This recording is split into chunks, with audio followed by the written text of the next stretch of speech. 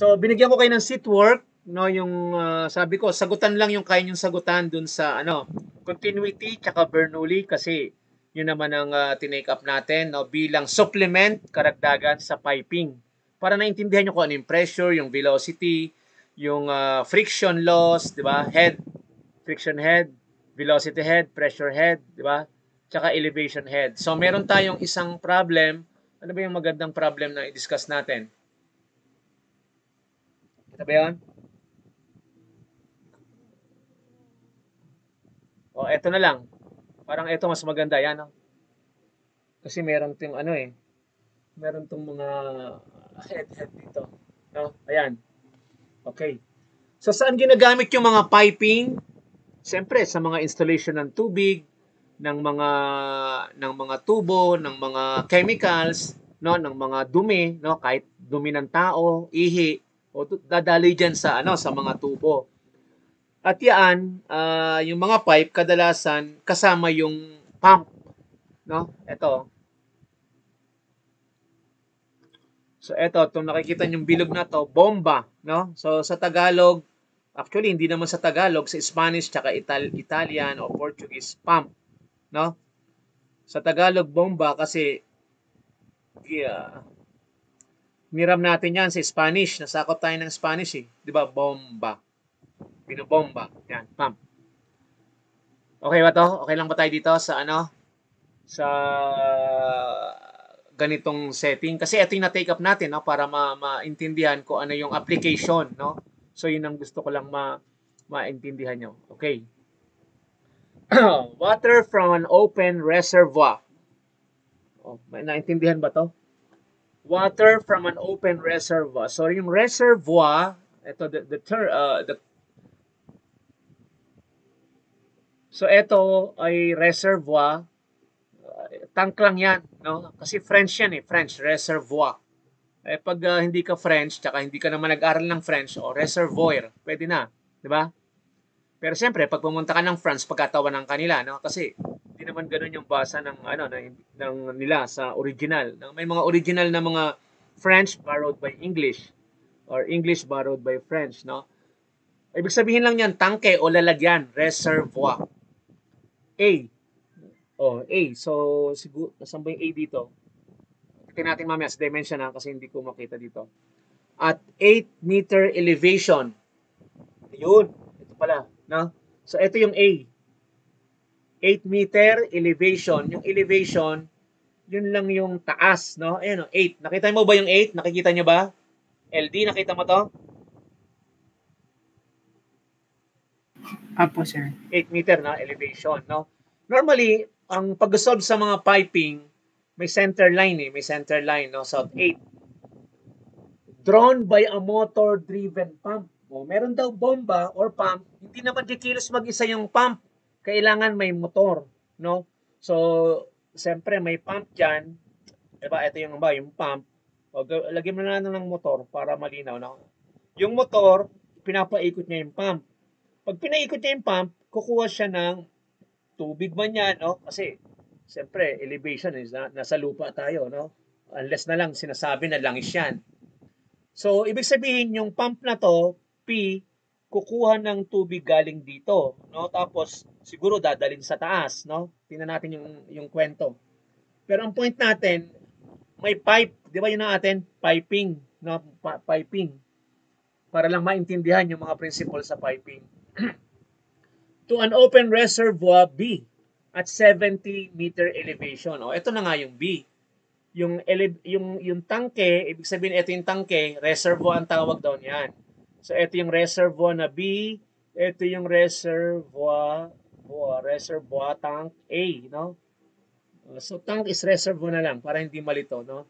So, when we talk of uh, a reservoir, we can uh, equate this with the, the with the word tank, yung tangke, yung tangke ng tubig, gano'n na lang, no? Now, ito na yung tungkol sa ano, sa pipe, no? Baka hinahanap niyo, nasan yung mga pipe diyan? Ayan, no, pipe. The inside diameter of the suction pipe, eh, saan yung suction? Turo mo nga yung suction. Nasa kaliwa ba o nasa kanan? Siyempre dito, suction, di ba? Ihigupin niya yung tubig, suction side, suction side. Ito yung side ng suction. Paglabas, D. Ano yung D? Discharge. Diba? Diba dalawa lang naman yung lalabasan, yung part ng tubo, papasukan at lalabasan. Ganun din sa pump. Suction ng uh, ng ano ng ng uh, pump at discharge, no? Ngayon, 200 at 150, no? So tinan mo, etong pipe na to, uh, ginawa na lang stick drawing or line, no? Pero actually, etong pipe na to ay 200, ano ba yan, millimeter ba yan? O millimeter diameter. Tandaan, sa mga pipe, pag na kinok, kinok, ano, kinoconnect mo sa bomba, laging mas malaki ang suction. O, ulitin ko ha, suction is always greater than discharge. Eh, pag mas maliit yung discharge, uh, bas, basta ma, baka mas maliit yung suction, magkakaroon ka ng vacuum. Mas malaki yung hinihigop, konti lang yung supply. O magkakaroon ka ng problema. Magkakaroon ka ng vacuum, magkakaroon ka ng cavitation. So, ulitin ko, mas malaki lagi ang suction. Ilan yon? Ito nga, oh, 200 millimeter diameter. Ito naman ay ilan? 150. O, di ba? Mas malaki yung yung uh, nasa suction. Okay? Diameter, ito na lang, phi, PHI, no? Ngayon, ano sabi pa diyan? The ano ba? The suction has a loss of head three times of that velocity head. O ito na, yung mga pinagre-report nyo, no? The ano ba 'yon? The suction has has a loss of head three times that that of velocity head in 200 millimeter pipe. So, ibig sabihin, yung pag nilagay mong ganyan, suction, head, tapos this, eto, discharge head, uh, sabi dito, the, the suction has a loss of head three times that of velocity head. So, yung suction head, wala pa lang binanggit na discharge, three times that of velocity head. Ano yung velocity head? v squared over 2g. No? Ito yung head ng velocity. No? 3 times noon, yun yung suction head. Kasi metric na yan eh. Pag, ino, pag pinag-usapan yung mga head or linear yan, no? Linear. Linear yung, ano, ibig sabihin meter o kaya feet. Eh, kaso naka, naka-meter tayo, meter, meter, no? E meter, no? So, linear, ibig sabihin, isa lang yan, no? Hindi yan square feet, hindi hindi yan cubic linear function meaning length, no? Pero converted sa energy head. Ulitin ko ha. Energy head yan, puro yan uh, linear. Meter, meter, meter. So eto, halimbawa, kung eto ay 1, kung ang pressure mo ay 1 meter, 3 times 1. Yun ang suction head. Di ba? Ganun ang interpretation. Now, uh, ituloy natin. Ito board exam to class ha. Uh, kumbaga, ina-advance ko na nga kayo para 'di ba? Para lang ma-appreciate nyo. Ito board exam. Malayo pa kayo mag-board exam kaya lang at least na na-orient na kayo no sa piping. The discharge line has a loss of 20 times. Oh, nako, puro algebra pala to. The discharge line has a loss of 20 times that of the velocity head. O, ito naman, yung discharge line, kasi kanina suction line ito, oh. suction line. Ngayon, yung discharge line, let me change the the color of the pen. So kanina is suction line. Ito yung discharge line. Meron namang equation na uh, has a loss of 20 times that of the velocity. No? So 20 times. Ito naman yung velocity, di ba? So kung ito yung velocity, velocity head, v squared over 2g. 20 times nun, yun yung discharge. Pero pag 3 times nun, yun yung suction. Maliwanag ba? Suction line, no? Ito suction line, ito discharge line. 20 times, ito naman 3 times. no? So mga algebra, pinasaka ng algebra. the pump center line, okay na ba tayo? 20 times that of the velocity head in the discharge pipeline.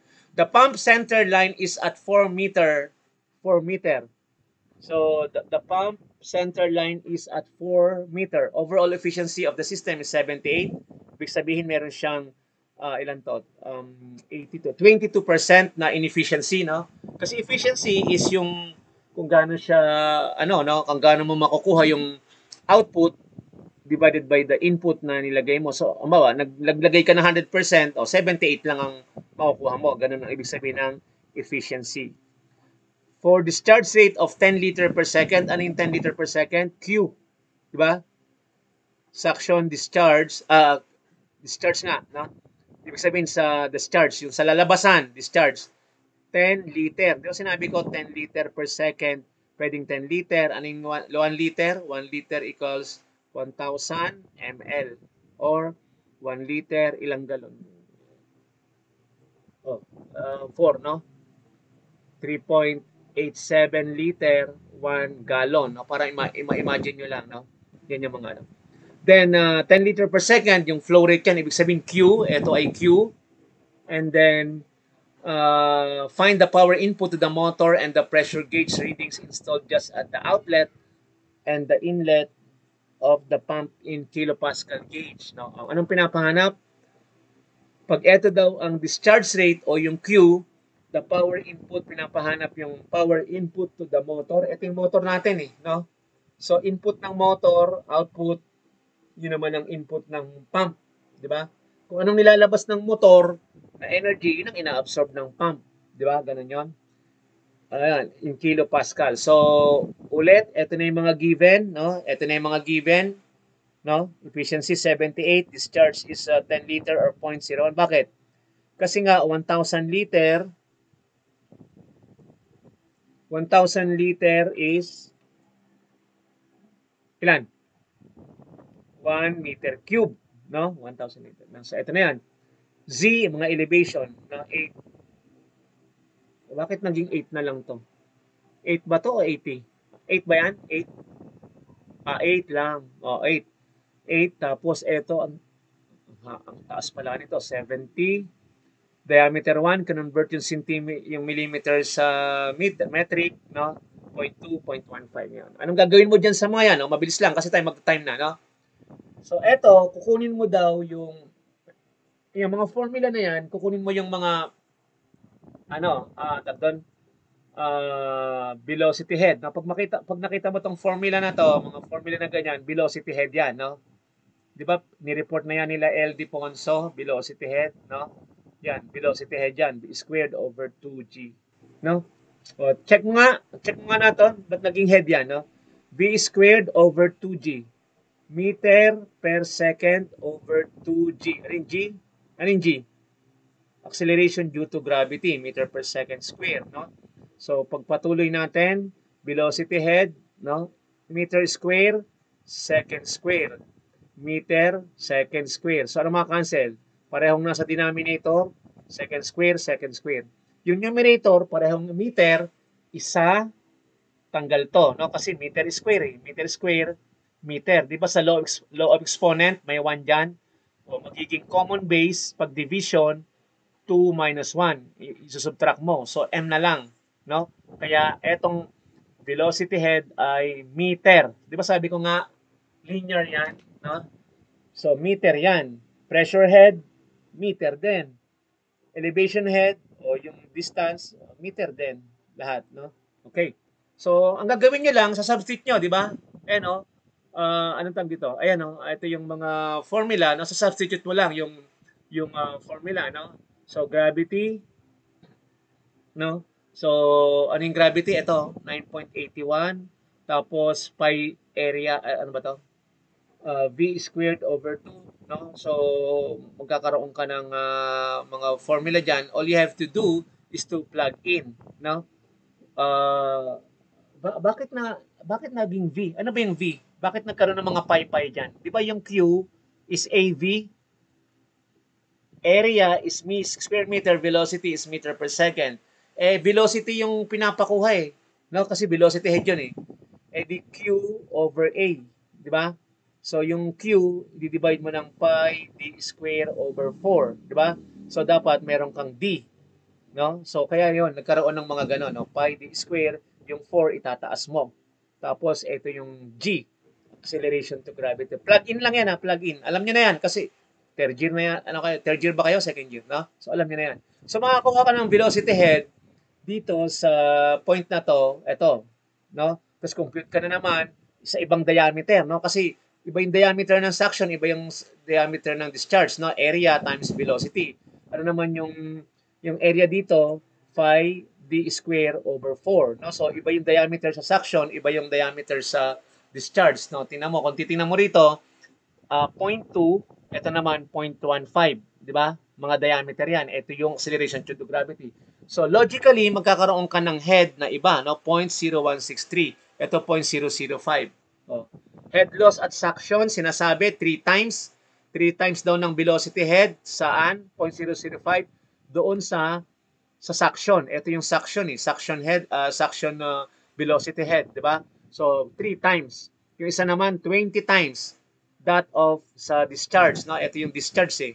Discharge line, no? Siyempre, yung discharge line, uh, mas maliit, no? 0.15. Ito suction, mas malaki, 0.22, no? So, magkakaroon ka ng head dito 20 times, no? Kasi nung sinabi, di ba, 3 times tsaka 20 times ng mga suction at discharge. Ayun, no? kung titingnan niyo yung problem, may may nakalagay diyan na ano ba 'yon? Ito, uh, uh, 3 times tsaka tsaka 8 times, no? Ang sabi, the suction has a loss of ano yun, no? So, binanggit diyan na uh, ito 20 times, no? Nakita nyo? Kaya 20 times ng v squared over uh, 2g ng discharge. Yung isa naman ay uh, binanggit dyan na 3 times. Ayan o, 3 times. No? So, 3 times ng uh, velocity head v squared over 2g ng suction. No? Kaya ganun yon Okay? So, oh, gagawin nyo lang, ipa-plug in lang uh, para ma, ma, ano, no? So, naka-plug na yan. No? Nakuha mo tong velocity head at suction, velocity head at discharge line. O, oh, ito naman, 3 times, ito naman 20 times. So, head at uh, discharge, head at suction. O, di ba? Maliwanag na yan. So, ang gagawin mo lang, ipa-plug in mo sa mga formula. Ito yung ito, energy equation, yung continuity, velocity head, pressure head, elevation head. Velocity head, ener, uh, pressure head, elevation head. Tapos lalagay mo yung of course yung mga yung mga mga head sa suction, no? Tsaka sa discharge, no? So ayun 'yon, no? Ewo, eto 0 0 naman 'yan. Tapos i-plug in mo lang yung heads head sa suction, 'di ba? Head sa discharge. Ito, wala naman 'to, no? Dahil sa elevation center line, wala, no? So ito lang 'yan. Makakuha ka ng total head, no? So paano makukuha yung power ng pump, no, na output? Ayun, Q gamma H. Ibig sabihin discharge meter cube per second. Ito naman is uh, uh, specific weight, no, specific weight, parang density, no? Density Newton ano to? Newton meter uh, cube. Yan, ito naman ay meter. Now, pag inano mo yan, cancel, cancel, Newton meter per second is joule, then second is watt. Newton meter is joule per second, and in joule per second, watts. O, yan, di ba? So, i-plug in mo lang yan. Q, ano ba to? Gamma H, na para makuha mo yung power ng pump. Tapos, pag nakuha mo yung power pump, i-multiply mo ng ano, no? ng efficiency, 0.78, no? para makuha mo yung talagang ano ng power. Yan, no? O, divide pala dito, no? Kasi input yun eh, no? So, input, kasi kunin mo muna efficiency, output over input.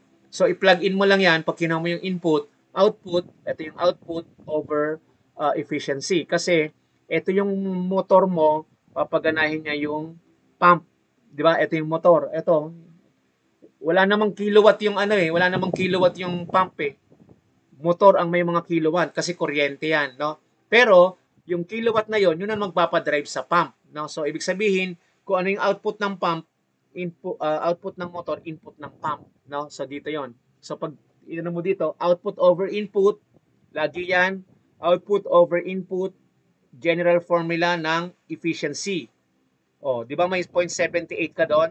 0.78 i-multiply mo uh, para makuha mo yung input o output over 0.78 no para mo yung output ng pump kasi output yata ng pump ang pinukuha. Tingnan niyo kung anong pinapakuha no? At the end inlet of the pump. O kaya nga sa ano no? Sa inlet ng pump ayan.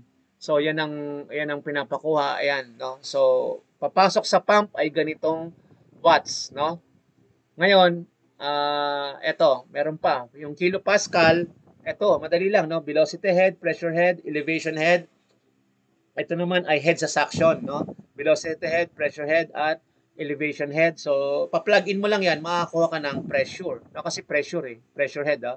So, di ba yun ang pinapahanap? Pressure. O, balik ka sa, ano, sa problem lagi, alam mo kung anong pinapahanap. No? So, let me erase everything. Yan, no? And the pressure gauge readings installed just at the outlet and the inlet of the pump in KPG. So dalawa pala, no? So pressure sa inlet ng pump at pressure sa outlet ng pump. So pinapa-compute. O yan, pinakompute, na nga natin, di ba? Ayan, no? So ito yung P1, no? Sa inlet and then dito outlet, no? So ganun din. Energy equation, conservation of energy, tatlo yan. Velocity head, pressure head, elevation head. Lagay mo lang yung discharge kasi kanina suction. Kasi nasa suction ka eh. Di ba? Suction eh. Yun ang tinatanong. Eh ngayon, outlet, discharge. O lalabasan ng pump. O di gamitin mo yung discharge head. Tapos dito sa kabila, velocity head, pressure head, elevation head.